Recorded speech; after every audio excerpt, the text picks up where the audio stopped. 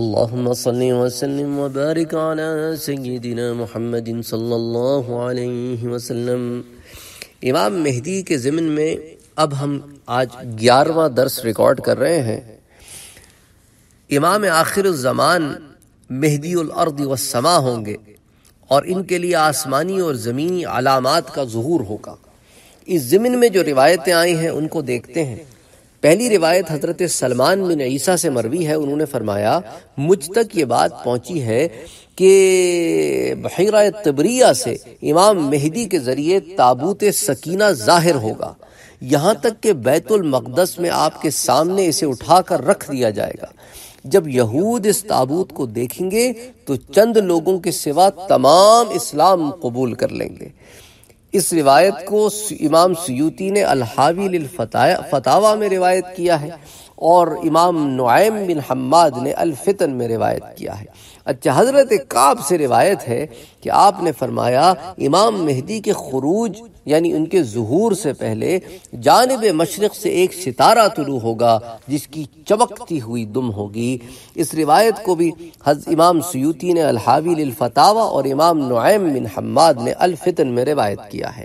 پھر حضرت شریک سے مروی ہے کہ آپ نے فرمایا، مجھ تک یہ بات پہنچی ہے کہ امام مہدی کے خروج یعنی ظہور سے پہلے رمضان المبارک کے مہینے میں دو مرتبہ چاند گرہن ہوگا۔ اس کو بھی امام سیوتی نے الحاویل الفتاوہ میں اور امام نعیم بن حماد نے الفتن میں روایت کیا ہے۔ اسی طرح حضرت علی المرتضی علی المرتضی رضی اللہ تعالیٰ عنہ سے روایت ہے کہ آپ نے فرمایا، جب آسمان سے آواز دینے والا آواز دے گا کہ حق آل محمد میں ہے، تو اس وقت لوگوں کی زبانوں پر امام مہدی کا ظہور ہوگا اور ان اور لوگوں کو ان کی محبت اس طرح پلا دی جائے گی کہ وہ ان کے سوا کسی اور کا تذکرہ نہیں کریں گے۔ اس کو بھی امام سیوتی نے الحاویل الفتاوہ میں اور امام نعیم بن حماد نے الفتن میں روایت کیا ہے۔ اگلی روایت جو اس زمین میں آتی ہے، حضرت صوبان سے مروی ہے۔ انہوں نے فرمایا کہ رسول اللہ صلی اللہ علیہ وآلہ وسلم نے ارشاد فرمایا کہ جب تم خراسان کی طرف سے سیاہ پرچموں کا قافلہ آتے ہوئے دیکھو، تو اس میں ضرور شامل ہو جانا۔ اگرچہ برف پر گھسٹ کر آنا پڑے، کیونکہ اس میں اللہ تعالی کے خلیفہ مہدی ہوں گے۔ تو اس روایت کو ابن ماجہ نے السنن میں اور احمد ابن حنبل نے المسند میں اور امام نعیم بن حماد نے الفتن میں اور امام دیلمی نے الفردوس میں ابو عمر ولدانی نے السنن الواردہ فی الفتن میں اور امام سیوتی نے الحاوی للفتاوہ میں اس کو روایت کیا ہے۔ لیکن یہ کالے پرچم کا تعلق ان تمام دوسری چیزوں سے بھی ہے۔ صرف کالے پرچم لے کے نکل جانا اس بات کا کوئی ثبوت نہیں ہے۔ اچھا اب اگلی روایت لے کے آتے ہیں۔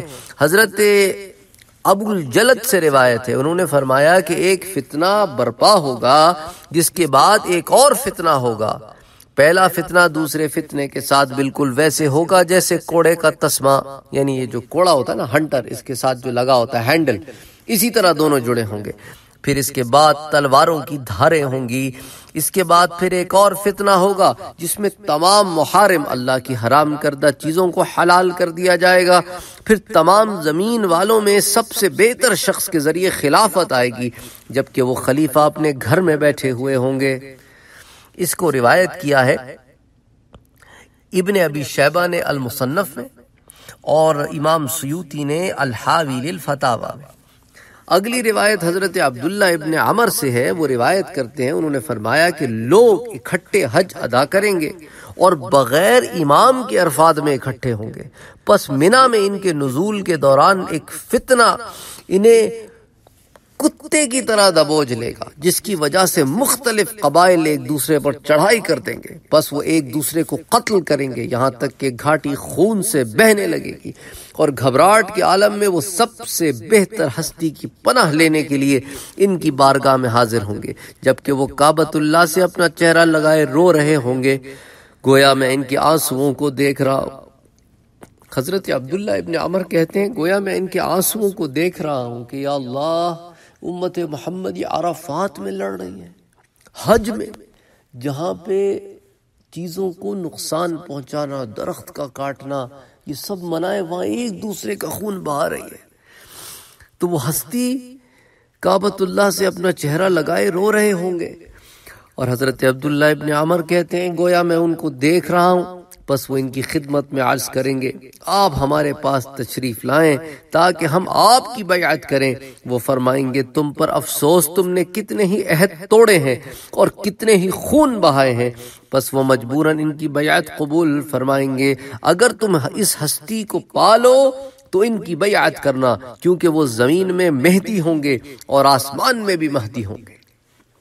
تو یہی وہ بات ہے جس کو پچھلی روایتوں میں بھی آپ کے سامنے میں نے پیش کیا، وہ مدینے سے مکے آئیں گے، وہ امام بننا نہیں چاہتے ہوں گے، لیکن لوگ انہیں بنائیں گے۔